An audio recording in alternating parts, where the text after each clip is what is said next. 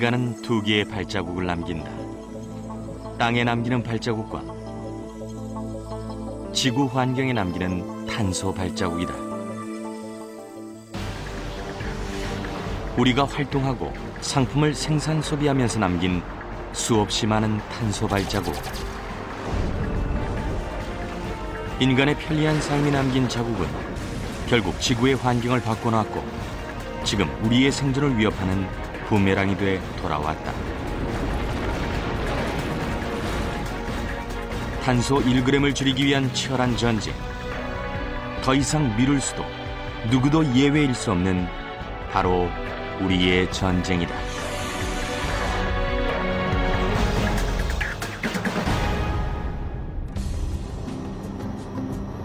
남태평양 적도 부근에 위치한 투발루.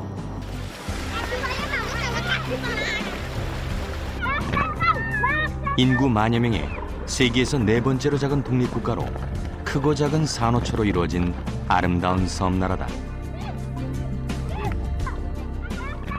Because it's, it's very nice and many foods.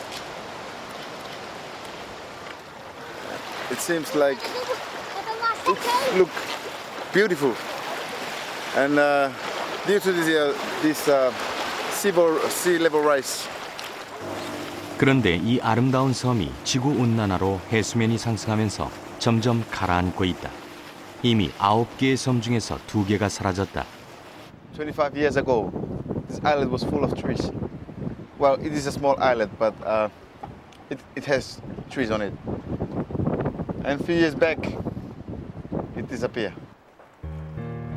2001년 투발루 정부는 국토 포기를 선언했지만 사람들은 갈 곳이 없어 고향을 떠나지 못하고 있다. 이대로라면 2060년쯤 투발루는 완전히 바닷속에 잠기게 된다고 한다. 인류의 편리한 삶의 대가로 인해 아름다운 섬나라가 지구상에서 사라지는 것이다.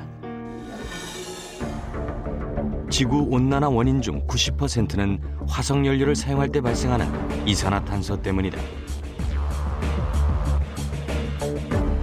탄소 등 온실가스로 점점 뜨거워지고 있는 지구. 지난 2007년 유엔 정부 간 기후변화 위원회는 지구를 구할 수 있는 시간이 8년밖에 남지 않았다고 경고했다. 하지만 온실가스는 지구 표면의 온도를 평균 15도로 일정하게 유지하는 중요한 존재다. 문제는 너무 많아지면서 지구가 점점 뜨거워지고 있다는 것이다. 산업혁명 전에 축적된 양이 약 275 ppm이었는데 지금 현재는 385 ppm을 넘어섰어요. 전문가들은 450 ppm이 넘으면은 평균 온도가 2도씨 이상 올라가 가지고 많은 생물이 사라질 것으로 이렇게 보고 있습니다. 지난해 세계 이산화탄소 배출량은 약 330억 톤으로 1990년에 비해 45%나 증가했다. 결국 지구 온도도 계속 상승했다. 산업혁명 이후 140여 년 동안 지구 표면 평균 온도가 약 0.6도 올랐고 이 추세라면 50년 안에 2, 3도가 오를 것이라고 한다. 지구 온난화로 인한 경고 속에서도 우리나라 탄소 배출량은 지난 20년간 136%나 증가했다. 중국, 인도에 이어 세 번째로 빠른 속도다. 그 결과 2008년 탄소 배출량 세계 9위였던 우리나라는 지난해 세계 7위로 올라섰다. 지난해 우리 국민 1인당 탄소 배출량은 12.3톤. 어디에서 얼마나 탄소를 배출하고 있는지 대학생 민지 씨의 일상 속으로 들어가 보자. 학교 갈 준비를 하는 민지 씨. 그런데 필요 없는 물을 계속 틀어놓았다. 무심코 물을 낭비하는 순간에도 탄소가 배출된다. 물을 생산하는 과정에서 탄소가 배출되기 때문이다. 물 틀어놓고 샤워하거나 또 양치하고 그러는 데는 거의 습관적으로 하는 것 같아요. 교통수단은 산업에 이어 두 번째로 많은 탄소를 배출한다. 때문에 승용차 대신 버스를 타면 탄소를 10분의 1로 줄일 수 있다. 민지 씨는 수업 시간에 컴퓨터를 이용하는데 10시간 사용할 경우 258g의 탄소가 배출된다. 한 끼 식사에도 탄소가 숨어 있다. 함박 스테이크가 준비되기까지 배출된 탄소는 3,668g. 승용차 한 대가 19km 달릴 때 배출한 양과 같다. 커피를 살 때마다 손에 드는 일회용 컵, 의식하지 못하는 사이 11g의 탄소가 배출됐다. 보통 일회용 용기로 다 먹는 편이고요. 뭐 어디 밖에 나가는데 매번 컵을 들고 나갈 수는 없잖아요. 저녁 시간.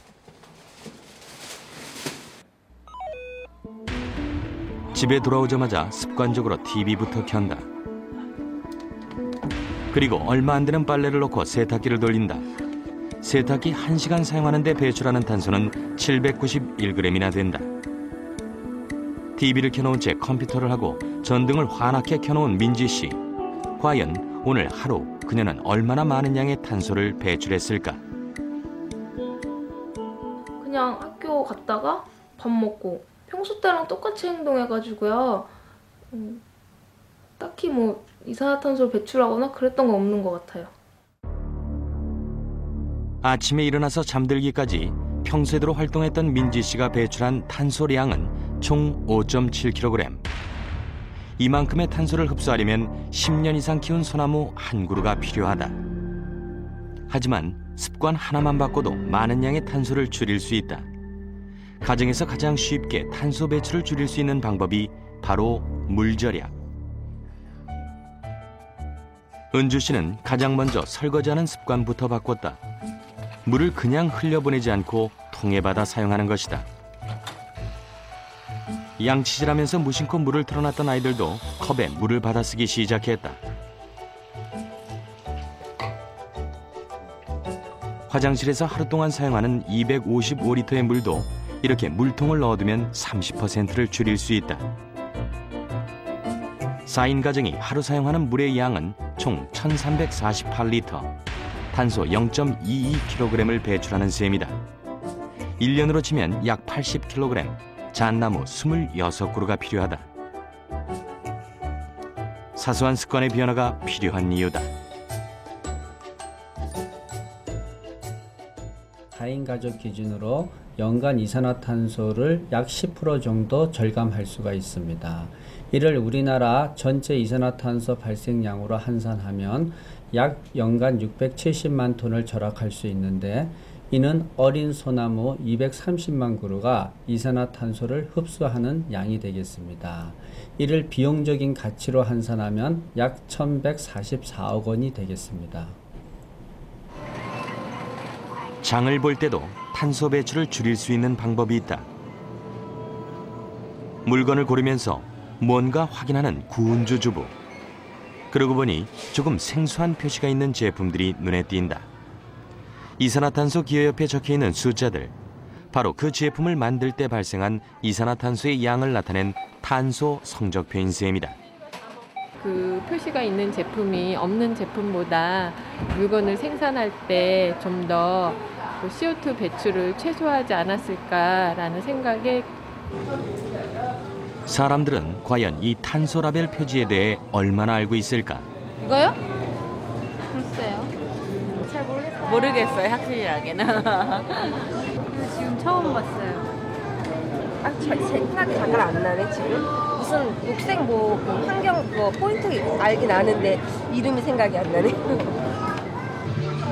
탄소 라벨에 대해 정확히 알고 있는 사람이 거의 없었다.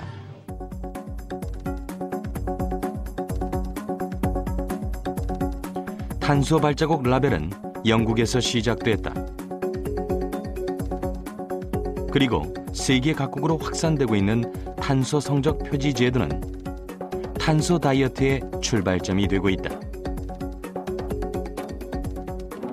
우리나라는 2009년 탄소 배출량 인증 제도를 시행 93개 기업 450 제품이 인증을 받았다. 전혀 신경 안 쓰고 구입했죠. 네. 그렇지만 지금 표기돼 있는 걸 안다면 알았다면 표기돼 있는 거를 사야지 맞는 거죠. 제품마다 탄소 배출량 수치는 천차만별이다.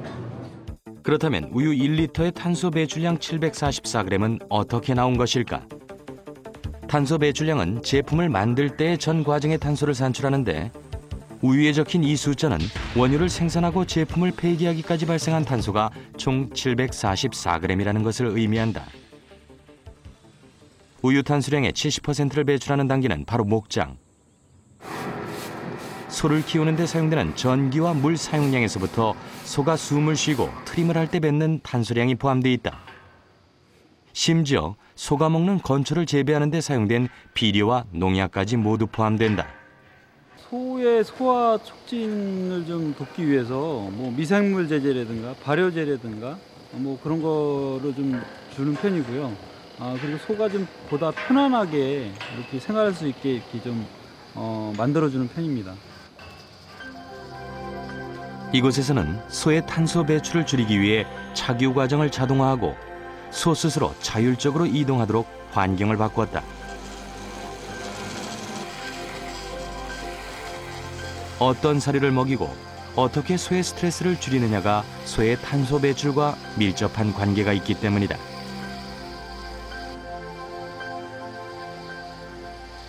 자기가 이렇게 우유가 차면 스스로 와서 짜고 지고 뭐 덩어리 긁고 뭐 이런 식으로 되다 보니까 스트레스도 좀 덜게 받고 그러다 보니까 이- 그런 건그 배출량도 약간 감소하는 거 아닌가 싶어요.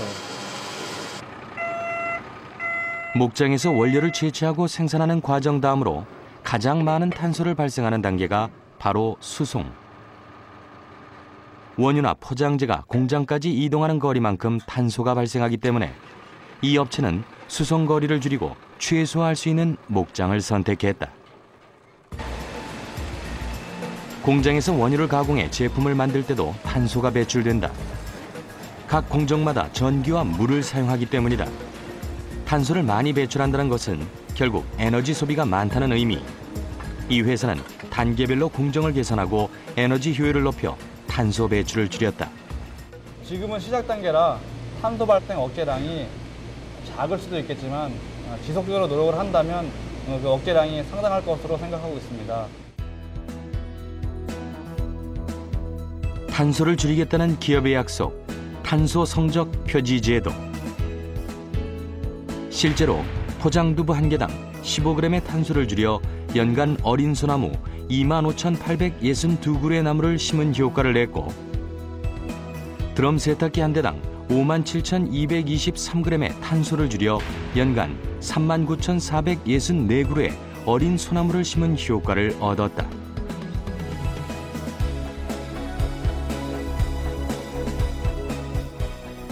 탄소 성적 표시 제도는 기후변화 문제에 대응하기 위한 제도입니다. 그 소비 제품의 탄소 배출량을 표시하면 그 소비자들이 그 온실가스, 즉 기후변화 문제에 대한 관심이 높아질 것으로 생각됩니다. 이에 따라 기업에서도 그 생산 과정에서 그 온실가스를 줄이는 노력을 유도하기 위해서 도입된 제도입니다. 기업과 가정에서 탄소 배출을 줄이기 위해 노력하는 것과 더불어 시급한 것이 바로 화석 연료의 사용을 줄이는 것이다. 탄소 배출의 가장 큰 원인이 바로 화석 연료 사용이기 때문이다. 서울 강동구에 위치한 한 주유소. 구청 청소 차량을 담당하는 유석종 씨는 요즘 주유할 때마다 신기한 생각이 든다.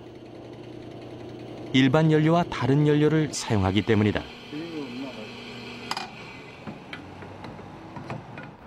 폐식용유로 만든 바이오 디젤이 바로 그것.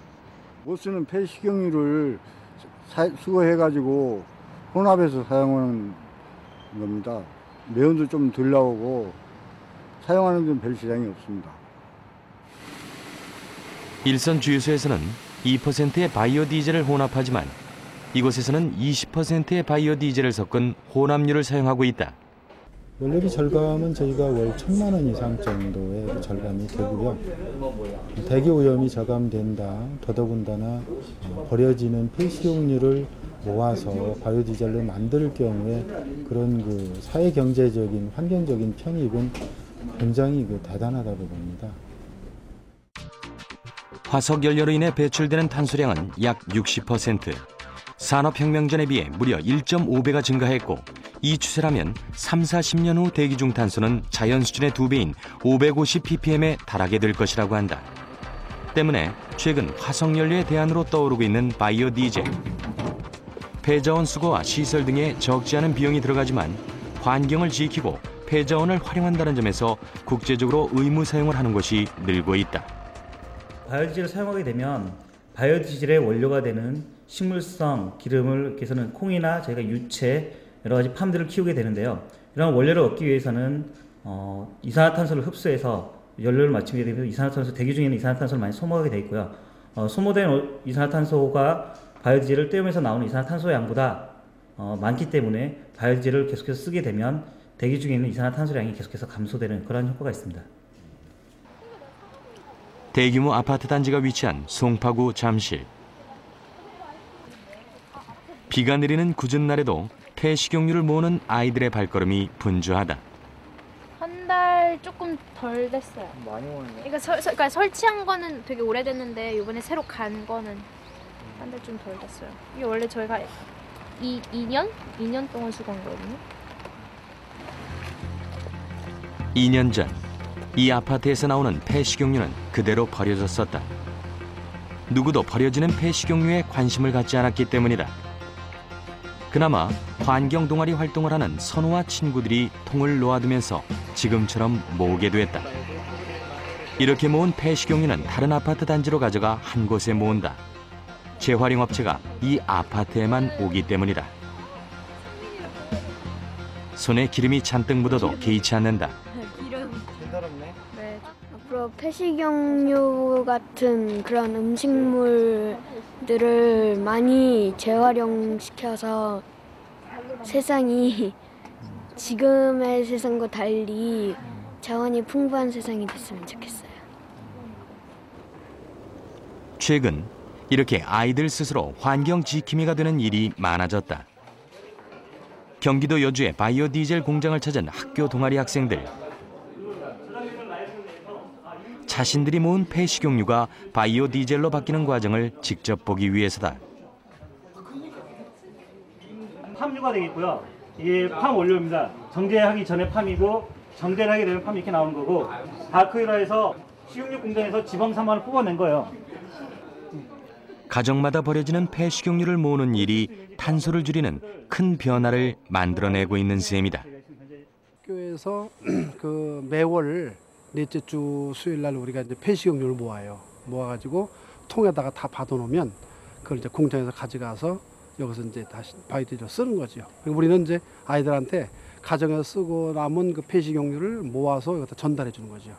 그리고 아까 그 폐식용유 아까 갖다 둔 친구한테 저희가 그 통에다 똑같이 바이오디젤 채웠거든요. 아마 이거 더 많은.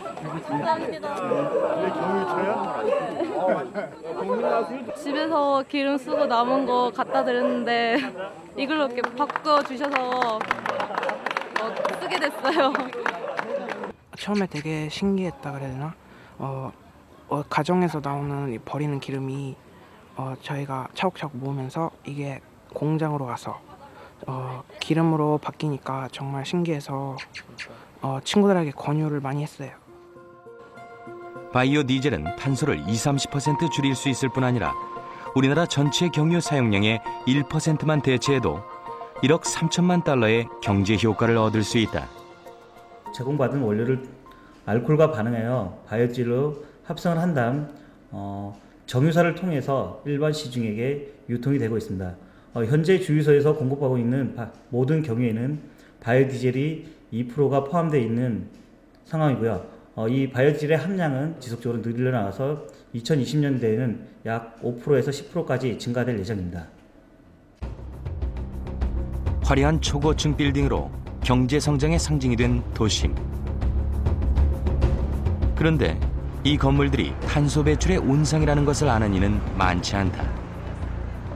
우리나라는 전체 국가 에너지의 25% 정도를 건축물에서 소비하고 있는데요. 선진국의 비중에 비해서는 지금은 작습니다만 계속 선진국을 따라잡고 있습니다.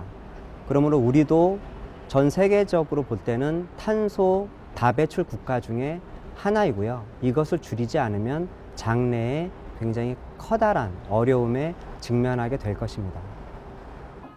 기후 변화를 이야기한 탄소를 줄이기 위해서 반드시 변해야 하는 분야가 바로 건축. 최근 그 대안으로 주목받고 있는 passive house를 찾아봤다. 1년 전 이 집으로 이사한 주부 윤정금 씨. 제작진이 특별한 점을 발견하지 못하자 불을 켜 삼중창을 확인시켜준다. 해가 넘어갈 시간이 되자 창문 전체가 블라인드로 가려졌다. 철저한 단열이 passive house의 특징이다. 네, passive 주택은 이제 단열하고 기밀성인데요. 그러니까 외부에서 차가운 공기나 더운 공기가 유입되지 않도록 벽을 두껍게 하고 창을 삼중 창을 써서 조금 두툼하게 해서 이렇게 단열 효과를 높였고요. 이제 안에 따뜻한 그 공기층이 밖으로 빠져나가지 않도록 이렇게 기밀성을 좀 높인 거. 이게 좀 다른 거죠. passive house의 원리는 건축물 안에서 발생하는 열은 밖으로 내보내지 않으면서 태양열과 지열 등 안으로 들어온 열은 철저하게 가두는 것이다. 하지만 문제는 환기. 문을 여는 순간 외부의 열을 빼앗길 수 있기 때문. 하지만 답은 이 열교환 환기 장치에 있다. 환기로 잃어버린 열을 다시 회수하는 자동 시스템이다.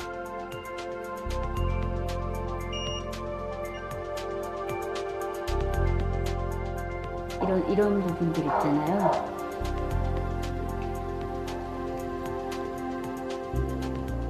환기를 하잖아요. 네네. 근데 그렇게 하지 않고 그냥 항상 이렇게 틸트를 하면 이렇게 해서 틸트로 이렇게 해놓으면 이제 먼지는 차단하고 관리비는 얼마나 들까? 유난히 추웠던 지난 겨울 가장 많이 나온 달이 18만 원 정도고 한여름에는 3만 원, 지난달에는 10만 원 정도 나왔다. 일반 주택에 비해 절반도 안 되는 수준이라고 한다. 처음에 초기 비용이 조금 더 들더라도 살면서 계속 기분 좋고 쾌적하고 또 그렇게 살아가는 게 훨씬 어, 정신적인 비용이나 또 이 실제적으로 들어가는 이 물질이나 음, 그 비용을 다 낮추는 방법인 것 같아요. 에너지 효율을 높여 탄소 배출을 줄이려는 시도는 상업용 건물도 예외는 아니다. 지난 4월 국립환경과학원이 준공한 기후변화 연구동. 탄소 배출을 줄이기 위한 친환경 건물의 모델을 제시하기 위해 에너지를 절약하는 것은 물론 에너지 자급자족과 철저한 단열로 탄소를 배출하지 않는 탄소 제로 건물이다. 컴퓨터라든지 전등에 들어가는 전기 에너지가 있는데요. 그 부분들을 최대한 기술을 발휘해서 적용 가능한 기술을 66가지 가능한 기술들을 적용해서 40% 정도 에너지 세이빙하는 효과를 가져왔고요. 그 다음에 그 나머지 60%는 태양광이라든지 지열이라든지 태양 열 그 발전을 통해 가지고 저희가 60% 정도의 에너지를 충당을 하고 있습니다. 그렇기 때문에 거의 100%에 가까운 에너지가 그 저희 자체적으로 그 생산하고 아끼기 때문에 탄소 제로 건물이라고 할 수 있습니다. 탄소를 줄이기 위한 에너지 소비 부문을 살펴봤다. 먼저 사무실은 전체 조명을 켜지 않고 각각 스탠드를 사용하는데 밝기에 따라 자동으로 조정된다. 천장도 커다란 창을 만들어 자연 채광을 최대한 높이고 건물 안 열을 외부로 빼앗기지 않기 위해 자동 조절되는 브라인드도 설치했다. 환기도 자동이다. 실내 탄소 농도가 올라가면 알아서 창문이 열리고 환풍기가 작동한다. 이 건물을 지을 때 굉장히 많은 비용이 투자가 됐을 거라 생각을 하시지만 사실은 일반 건축물에 비해서 1.4배 정도 그 비용이 투자가 되었습니다. 그 1.4배를 가지고 저희는 탄소 제로를 그 유지할 수 있고요. 그러면서 어, 신재생 에너지를 이용해서 전력을 생산할 수 있습니다. 이 탄소 배출 제로의 성격을 가진 건물을 지으신다든지 아니면 기존에 있던 건물을 어, 리모델링 하신다고 하면은 그 효과가 경제적인 효과는 굉장히 큽니다. 건물의 탄소 배출을 줄이기 위한 움직임 속에서 최근 대형 유통업체도 건물 탄소 줄이기에 나섰다. 판매 시설로는 처음으로 친환경 건축물 인증을 받은 경기도의 한 대형마트. 많은 사람이 모이는 곳이기 때문에 에너지 소비량도 높고 탄소 배출도 많았지만 태양광 발전 시스템과 풍력 발전기를 통해 에너지를 생산하면서 탄소 배출을 50% 이상 줄이고 에너지는 40% 이상 절감했다. 태양광 에너지를 생산을 통해서요 연간 20.2톤의 CO2를 감소 절감을 했고요 그리고 풍력 에너지 생산을 통해서 그 연간 1.3톤의 CO2를 감소를 하게 됐습니다. 에너지를 적극적으로 생산하기 위해 건물 외부에 태양광과 풍력 발전 시스템을 도입했다면 에너지 절감은 매장 안에서 철저하게 이루어지고 있다. 조명은 모두 고효율 형광등으로 바꿨고 사람들이 많이 이용하는 무빙 워크위에는 인공 조명을 최소화하고 대신 자연 채광을 위해 창문을 달았다.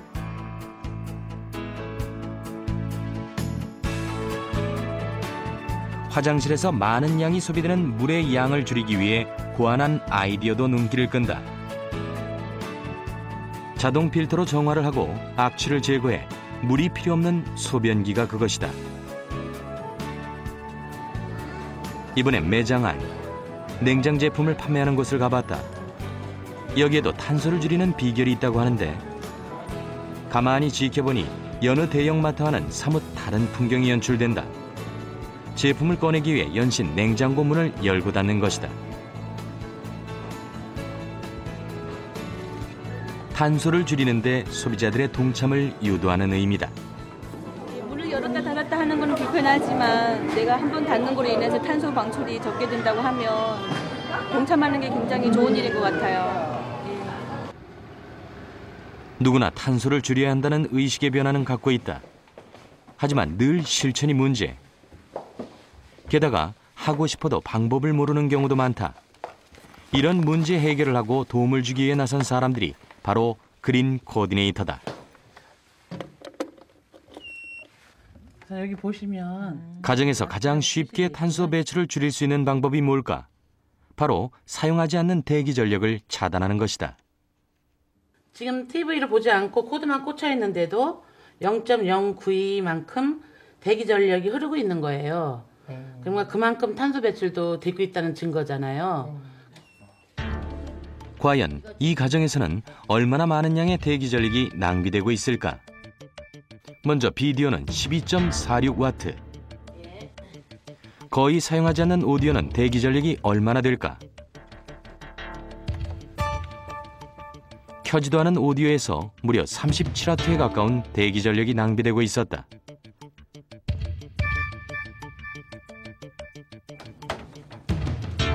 일주일에 한두 번 사용하는 세탁기. 대부분 플러그를 꼽아놓고 사용해 대기 전력이 낭비되고 있었다. 코드를 꽂아 놓으면 어느 정도 전기를 쓰는 거는 알았지만요. 이렇게까지 소비되는 줄 몰랐어요. 그리고 그만큼 또 탄소도 많이 배출되는지도 전혀 몰랐고요. 그렇다면 스위치가 달린 멀티탭을 사용했을 경우 대기 전력은 어떻게 될까? 멀티탭을 대기 전력 측정기에 꼽은 후 세탁기 플러그를 연결해 보았다. 안 올라가시죠? 아까는 올라갔었는데 대기 전력이 완벽하게 차단되는 걸 확인할 수 있다. 플러그를 잘 안 뽑으세요. 귀찮으시니까. 근데 이런 멀티탭을 이용하시면 간편하게 껐다 켰다 할 수 있기 때문에 대기 전력을 많이 줄일 수가 있어요. 이거 보시고 실천하시는데 좀 도움이 되시라고 제가 냉장고에 붙여드릴게요. 공업도시로 탄소 배출량이 많은 안산시. 2020년까지 탄소 배출을 30% 줄이기 위해 그린 코디네이터 제도를 적극 활용할 계획이다. 가정에서 불필요한 전기에 대해서 알려줌으로 인해 가지고 어, 시민들의 관심도가 높고요. 어, 또한 전기요금도 20에서 30% 정도 그 절감되니까 그 탄소 배출량도 그것만큼 저감되는 효과가 있습니다. 2005년부터 지구 환경과 기후 변화의 위기를 함께 헤쳐나가기 위해 마련되고 있는 녹색 성장 박람회. 탄소에 대한 위기감과 에너지 절약에 대한 필요성이 커지면서 해마다 많은 사람들의 관심이 모아지고 있다.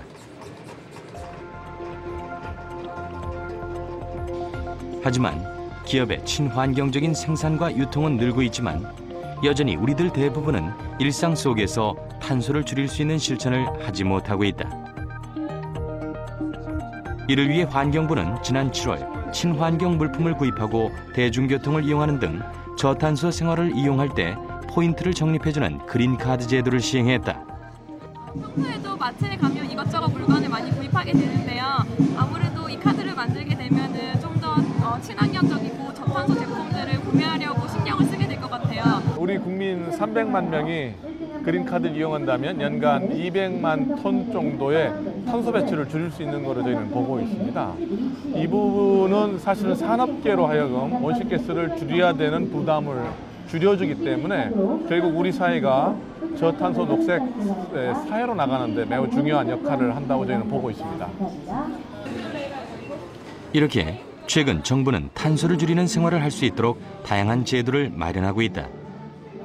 하지만 정확히 이런 제도를 알고 사용하는 사람은 많지 않다. 에코 말리지제란 가정과 일반 건물 등에서 어, 전기나 수도, 도시가스, 또 지역 난방과 같은 에너지 사용량을 줄이면 이를 온실가스 감축량으로 환산해서 소정의 인센티브를 제공해 드리는 프로그램입니다. 어, 인터넷의 에코말리지 홈페이지를 통해서 어, 아니면 구청이나 동주민센터의 민원 창구를 방문해서 가입하시면 되겠습니다.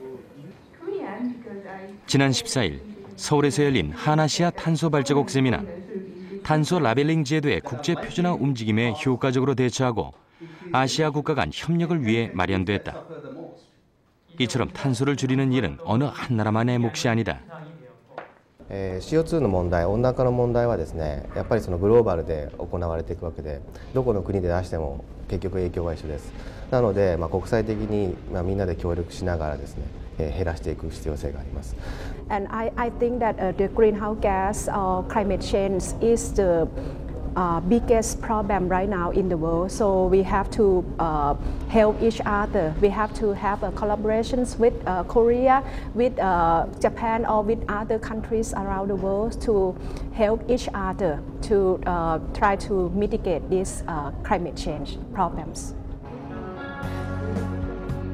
한가로운 주말 오후지만 서울 월드컵 경기장 광장은 이른 아침부터 떠들썩하다. 환경과 지구를 위하는 나눔 장터가 열린 것이다. 폐식용유를 활용한 바이오 디젤에 대한 홍보도 열렸다. 그냥 버리죠. 폐식용유 뭐 남는 거 남은 남은 용기야 뭐 재활용하지만 뭐 대부분 그냥 버릴 수 있는 거 버리고 하수구에 버리죠. 네. 보통은 휴지에다가 기름을 묻혀서 일반 쓰레기랑 같이 배출을 하고 있거든요. 물에다가 버리는 것보다는 낫지 않을까 생각돼서 그렇게 하고 있거든요. 폐식용유를 모아서 수거해 주시면 수질 오염도 줄이고 바이오디젤이라는 자원도 생겨요. 낯익은 얼굴이 반갑다. 며칠 전 한 아파트 단지에서 폐식용유를 수거하던 청소년 환경 동아리 프라이팬 속 환경사랑 아이들이다. 2009년 브라질의 정글이 파괴되는 사진을 보고 동아리를 만들어 지금까지 폐식용유 수거통 설치 캠페인을 벌여오고 있는 아이들. 오늘도 폐식용유 재활용 캠페인을 벌이기 위해 나왔다.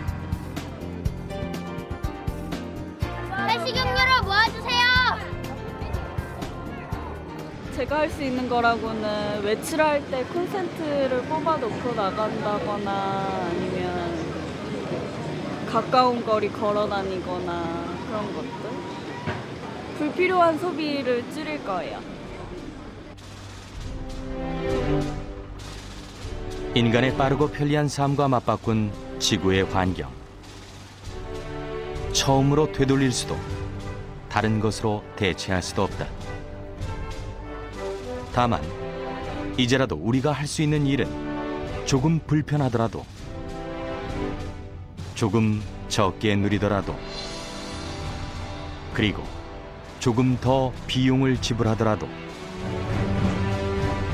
변해가고 있는 지구의 모습을 천천히 찾을 수 있는 길을 만드는 것이 아닐까.